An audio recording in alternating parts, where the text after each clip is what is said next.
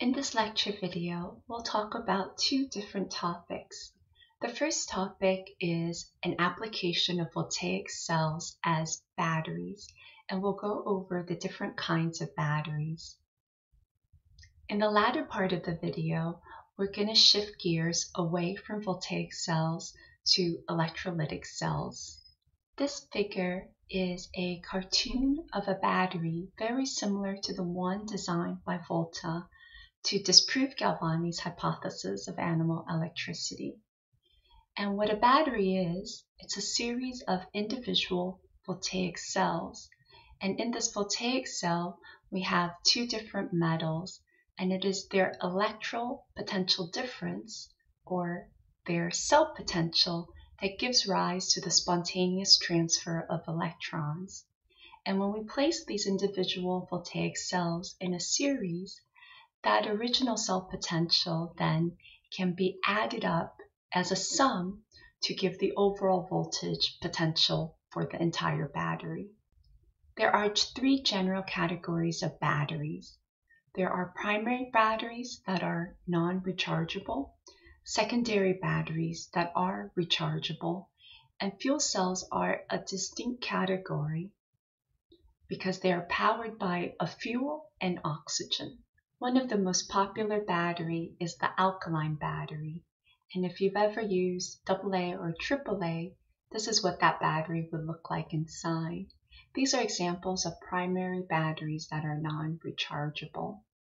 So the reason why they're called alkaline is because of the presence of potassium hydroxide paste, which is used as an electrolyte. So the redox reaction that happens inside this battery is between zinc and manganese dioxide to generate zinc oxide and manganese hydroxide. And if we follow the oxidation numbers on zinc, zinc is being oxidized from 0 to plus 2. So that would be our oxidation half reaction at the anode. The manganese, on the other hand, is being reduced from plus 4 to plus 2, and that is our reduction half reaction. The overall cell potential for this reaction is 1.5 volts. Batteries often are labeled with positive and negative signs. And here, these match the signs that we would assign to the different electrodes in a voltaic cell.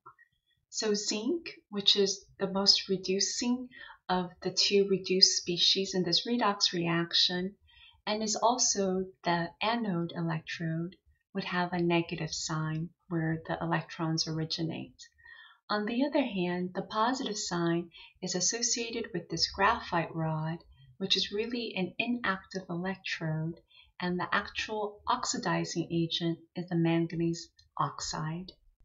Secondary batteries are rechargeable and largely based on nickel.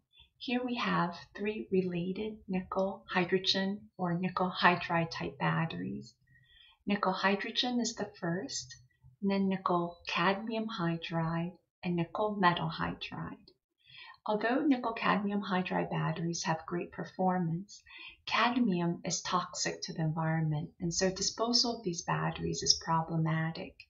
That makes these nickel metal hydrides really popular today, and the metal is actually an alloy of lanthanum and nickel metals. An amazing application of these batteries is in the Hubble telescope that was launched in 1990. And the Hubble telescope is outfitted with the solar power arrays so that it can use sunlight energy for electricity. However, there is a part of the orbit around the Earth where the Hubble telescope is in the shadow, and therefore it has to rely on batteries for its nighttime operations. Now the Hubble telescope has six nickel hydrogen batteries that are each 125 pounds. And so this module here is showing half of the batteries that are on the Hubble telescope. So this is three battery modules. The redox reaction run in nickel hydrogen batteries like the one on the Hubble telescope is shown here on the right. And if we follow the oxidation numbers, we'll see that hydrogen has an oxidation number of zero, but becomes plus one in this proton form on this hydroxide group. And so this is the oxidation half reaction. On the other side, nickel changes from plus 3 to plus 2, and so this is the reduction half reaction. Now, the nickel metal hydride, which is by far more popular, has a related redox reaction where instead of using hydrogen gas, now we can use that alloy metal hydride instead. And the second redox reaction has a good cell potential value of 1.4 volts. Fuel cells are different from other batteries in that they are open systems. And for that reason, sometimes these are called flow batteries because they have a flow in of reactants, typically a fuel source and oxygen gas, and an outflow of products. And because they use a fuel source and oxygen, essentially fuel cells are doing a controlled combustion redox reaction to generate electricity.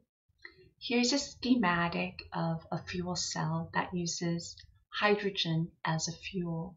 So this is the reaction shown here, where we have hydrogen plus oxygen to form water. And this has a very positive cell potential of 1.23 volts in the standard state. If we follow the oxidation number changes, hydrogen is being oxidized and oxygen is being reduced. Here are the two half cell reactions that take place in a hydrogen fuel cell. In this first reaction here, we have the oxidation of hydrogen gas to protons and electrons and this hopefully will look familiar to you as the standard hydrogen electrode run in the reverse direction. So because this is a standard electrode, the half cell potential is set to be 0 volts. The second reaction is the reduction of oxygen to give water, and this requires not only electrons, but also protons. We generally consider oxygen as a strong oxidizing agent, so therefore reducing oxygen has a very positive half cell potential of 1.23 volts. One thing I like to note is that not only does the number of electrons cancel out, but the number of protons cancels out. So this means that in between these two half reactions, not only do we have the flow of electrons, but we also have to have the flow of protons. Here's a scheme of how a hydrogen fuel cell would work. So first you'll notice that on the two sides of this fuel cell, we have inlets for the gas, hydrogen, and oxygen. And so both of these reactants flow in, and on one side, water, our product, flows out. Now, because these species that are undergoing redox reactions are not electrode material, we do need an inactive electrode. And so here we have platinum catalyst deposited on graphite. And these two electrodes are connected by a wire to allow electrons to spontaneously transfer from those lost from the oxidation of hydrogen to move towards the oxygen side where it gets reduced to water. Now in between here is a special type of membrane because we have to now allow for protons to migrate from the hydrogen half reaction into the oxygen half reaction. And so important components of this fuel cell are the inactive electrodes that have both platinum and graphite and we also have a particularly special need for the Saltbridge electrolyte that basically has to allow for proton exchange between these two half reactions. Hydrogen fuel cells are one vision for having a zero emission technology because they produce water unlike fossil fuels which combust to form carbon dioxide. To make this dream a reality still means overcoming a lot of challenges. In particular, the generation of hydrogen gas can be expensive. But the technology is being implemented, and there are now vehicles being sold that utilize both the hydrogen fuel cell and electric vehicle technologies combined to power such cars. And so in this car schematic, we have these canisters that would house the hydrogen fuel. And this would be the fuel cell battery. And then there would be other batteries that would be working in concert. In the second part of the lecture video, we're going to talk about electrolytic cells. Electrolytic cells use electric energy input in order to drive a non-spontaneous redox reaction. In order to understand all the similarities and differences between a voltaic cell and electrolytic cell, we're going to use this diagram where we have the same chemical species. We have tin and copper electrodes in both of these cells, and we have tin 2 plus and copper 2 plus solutions, again in both of these cells. In the voltaic cell, we run this redox reaction in the spontaneous direction where the cell potential would be positive. And this is where electrons flow from tin metal to copper 2 plus, reducing it to copper metal. In the electrolytic cell, we're actually running the electrons in the opposite direction, which is uphill in energy. And so copper is now the origin of the electrons, and they're being used to reduce tin 2 plus to tin metal. Now, because this chemical reaction has a negative cell potential of 0.48 volts, that means we need an energy input that is going to be positive or greater than 0.48 volts so that this reaction can be done. The primary difference between this voltaic and electrolytic cell is the sign of the cell potential. Other differences include that what is being oxidized and what is being reduced gets swapped between these two cells, as well as the anode and cathode. So, for instance, in the voltaic cell, the tin anode is being oxidized, but in the electrolytic cell, that gets swapped with the copper anode that gets oxidized. And whereas tin was originally an anode in the voltaic cell, now it becomes the cathode in the electrolytic cell. The flow of electrons has to now be in the opposite direction because in the voltaic cell, this electron flow is in the downhill or spontaneous direction. But in the electrolytic cell, now electron flow is in the non-spontaneous or thermodynamically uphill direction. So in the electrolytic cell, we actually have electrons flowing to the more reducing metal or the stronger reducing agent. Another subtle difference is that the signs of the anode and cathode are reversed.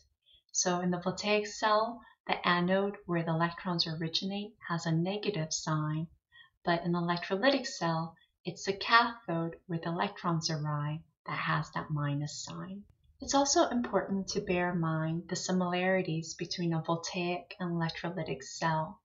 And some of these similarities simply have to do with the definition of what is oxidation and reduction and where they happen at the anode and cathode. So in both cells, the oxidation always happens at the anode and the reduction always happens at the cathode. And because oxidations are where electrons are generated and reductions at the cathode are where electrons are used up, electrons will always flow from the anode to the cathode. Now, the signs of the electrodes are actually maintained such that the negative sign is always at the more reducing metal electrode, and the positive sign is on the less reducing metal electrode. So in both of these cells, tin, which is more reducing than copper metal, bears the minus charge, even though it changes roles from anode to cathode. Likewise, copper, which is the lesser reducing metal, bears a positive sign, whether it's the cathode in the voltaic cell or the anode in the electrolytic cell. So these signs will correlate naturally with the metal's potential differences. An important application of electrolytic cells is electrolysis, where we can extract pure metal elements from their ores. And so this set of trivia questions is related to the next slide. What is the third most abundant element in the Earth's crust and also the most abundant metal element? What element was more precious than gold in the 19th century? And because of its status, it was chosen to form this pyramid cap that was used in the construction of the Washington Monument. The answer to those three trivia questions is aluminum. And part of the reason why aluminum was so precious was it had to be extracted from the bauxite rock where it was present as aluminum plus 3 in this hydroxide form. And through electrolysis, by the addition of three electrons, we can then form the pure aluminum metal. And this reaction, as written, has a negative standard cell potential of minus 1.66 volts, meaning that this would have to be done in the uphill direction in order to isolate this pure metal. Another application of electrolytic cell is electroplating. This is a process where you can deposit a nice shiny layer of a metal on a metallic object simply by electrolyzing the object while it's dipped into solution of the metal ion and then it's electrolyzed. So chrome plating, for instance, would give this nice, beautiful, shiny chrome layer that is also protective and will prevent rusting. And chrome plating then has this really simple half reaction where chromium 3 plus ions are reduced by 3 electrons to form chromium and metal. And again, by looking at the standard cell potential, we see that it is indeed negative. And so this is another reaction that would require energy input in order to be run. Electroplating and electrolysis often show up as stoichiometry problems where we want to calculate how much metal is formed or deposited in these electrolytic reactions. In this problem, zinc plating is used as a way of protecting an item from corrosion. How many grams of zinc can be deposited on a steel tank from a zinc sulfate solution when a 0.855 amp current flows for 2.5 days? In the first step to solve this problem, let's write out the half reaction. Because we start with zinc sulfate, that means we are beginning with zinc 2 plus ions and we're reducing them to form zinc metal, which requires two electrons. And from the table of half cell potentials, this reaction has a negative potential of minus 0.76 volts. Now we're solving for the amount of zinc metal that is formed in this electroplating process. What's important to realize is that the limiting reagent in this reaction is actually the number of electrons that are used. And here we can use the fact that there is a two mole relationship between the electrons and the moles of zinc metal that would be produced. So next we're going to determine the number of moles of electrons that were used in this electroplating process. And to do so, we need to remember that current, or units of amps, is really just the flow of charge over time. And these have units of coulombs over seconds. And so we, if we want to solve for the total charge that's used in the process, we need to multiply current times time. And in doing so, we have 0.855 coulombs per second. And because it's a second, we have to convert the 2.5 days first into hours and then finally into seconds. And if we multiply all these values, all the units for time will cancel and we get 1.847 times 10 to the fifth coulomb. So this is the total charge of running this much current for that long. But this is in terms of charge, and we really want it in moles of electron.